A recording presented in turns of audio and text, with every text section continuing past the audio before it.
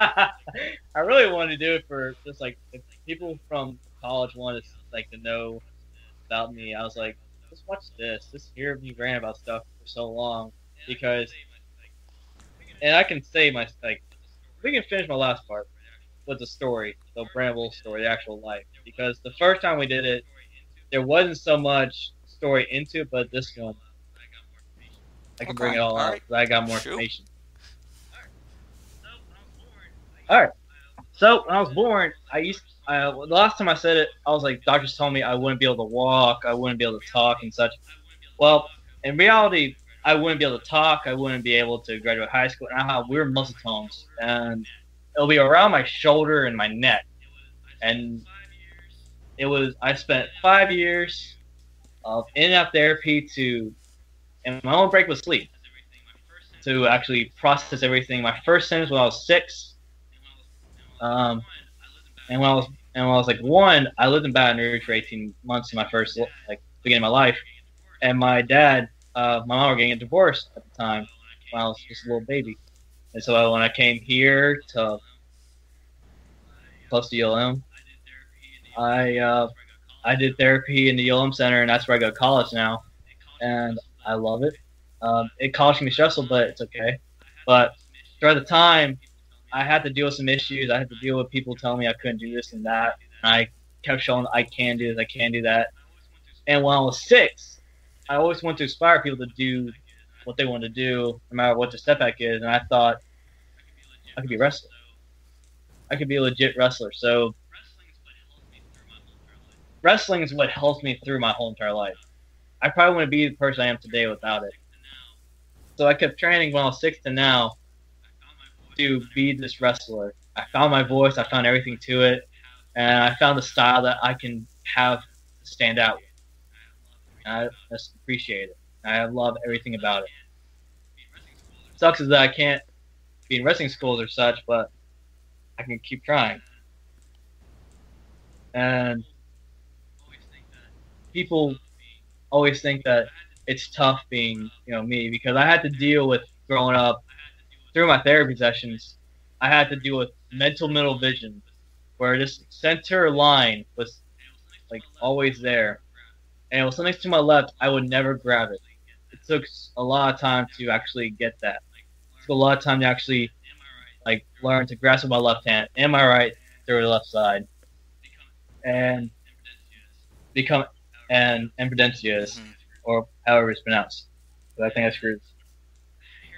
And hearing all these false facts about things and such, it about you get autism through shots. That's not how it works. It really doesn't. The doctor got his license suspended, and I got told getting getting a little bullied at school for having autism because I was just a bit different. I wasn't being social and such. I'm still not the social guy, but I'm breaking out of it.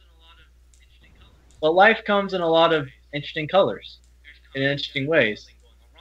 There's constantly going to be something going on wrong in your life, but you got to know how to make it positive happen. I've had stuff go wrong always, somehow, but I've had to keep my mind happy. And I'm happy where I am right now because I know, because years ago, I was in the mindset of maybe people's lives would be better if I was dead. I was, because people with autism mostly kill themselves in their teens. And I was just never happy. I was never, and I don't have a second conscience. People autism, they don't have a second conscience. They have to grow a good mental mindset to not do stuff. And I, and it took years, but I did it. A lot of people, and and I'm I'm I'm the nicest person you'll ever meet, hands down. If everybody, somebody needs something, I'm there. I'm there to care. I'm there to show support. And maybe that's hurt me a few times, maybe that hasn't, but I'm always there. Always loyal. Am I really honest? Yes. But no. And the way I'm talking, I actually have something. It was something called a. It was a voice thing. It's a voice. Either I talk like this or I talk like a robot. And nobody wants to hear me talk like a robot. So, like, it took many years to be the person I am today. And if I didn't go through life I had, all the struggles and issues, I wouldn't be the man I am today. So, more open about it. More open about having autism, more about that being that mindset I had years ago. It's just I, I going to be myself. If I didn't say all that, if I didn't do all that. So, like it's tar- tough. Life is uh, getting kind of hard. Don't give up because you don't know what to store in the future and what you can really uh, show what you're made of. I absolutely. I I can't say that any better than you did.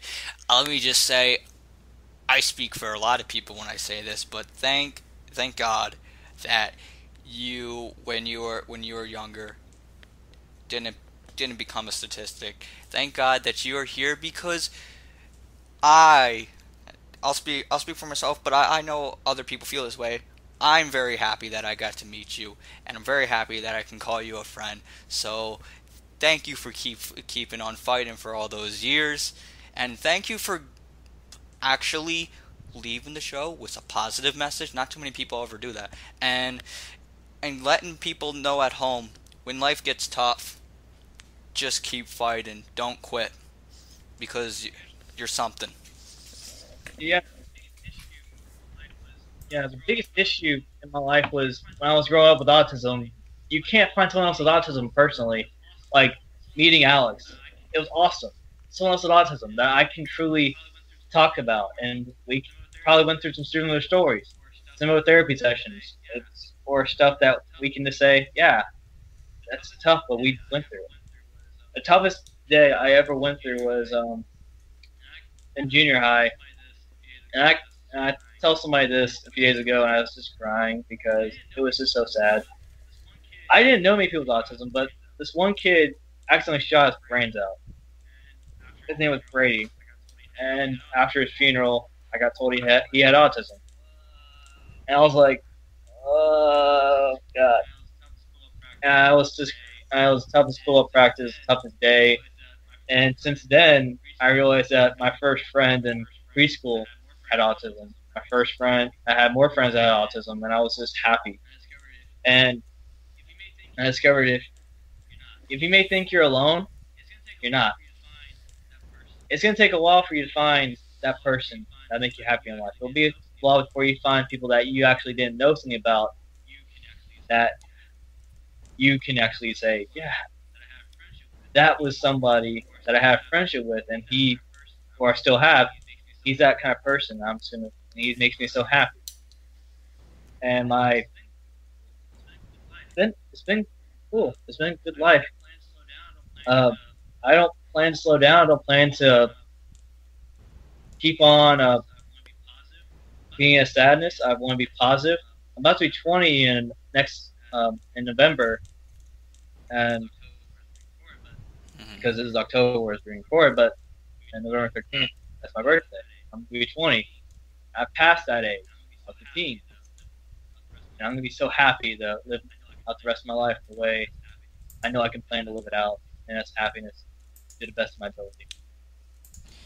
Well, that's that's fantastic. Thank thank goodness for that, and well, th- thank you for sharing because you know not maybe not everyone would be willing, but you're but thank you for sharing and, and letting everyone know that. Uh, and also thank you again for coming on the show. Very much appreciate it. Got to talk about some cool stuff. Uh, and I'm sure come the next time we'll have some more cool stuff to talk about. But yeah, any any final words before we uh before we hit the end of the video? yeah, what a yeah, way to get fired. What a way. Oh man. Sean Walsh Show, breaking ground. Thank you, and thank you all for watching. Have a great day. Thank you everyone for listening to me and Sean, thank you for having me on the show. I really do appreciate it.